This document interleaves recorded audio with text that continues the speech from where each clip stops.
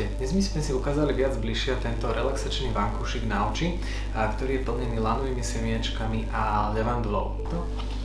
Vankušik je veľmi lahučký a to šitie je tvarované presne na tvar očí, alebo respektíve hlavy, tak aby veľmi dobre držal, nespadával príliš do stran a obsahuje v podstate takýto vonkajší obal, ktorý je prátelný a vnútri, keď si popresýpame guličky, tak nájdeme vlastne vnútro, ktoré je vyberateľné, takže je možné v podstate si aj odsypať alebo dosypať si ešte ďalšie levandulové, ak máte možno, alebo nejaké ďalšie iné bylinky, ktoré by ste si chceli dať takto na oči a pomôcť si uľaviť si po možno náročnom dni alebo príliš dlhom pozeraní sa do počítača takýmto spôsobom na oči alebo dať si po záverečnej po hodine jogy na záverečnú relaxáciu.